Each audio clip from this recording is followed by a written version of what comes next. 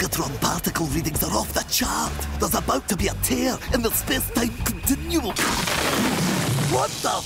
There's no time. I've come from the future to warn you. Well, me, to get out while you still can. The upcoming series of Doctor Who gets even more complicated.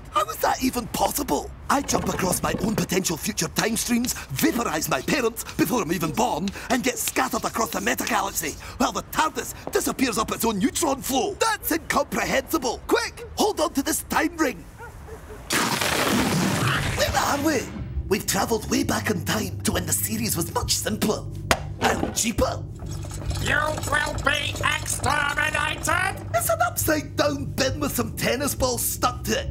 Exactly. And it's much easier to defeat by reversing the polarity, using a reality manipulator to harness the power of the Hand of Rassilon. No! By hitting it with a stick. See, things were so much simpler on a measly 1970s BBC budget. Hang on. BBC?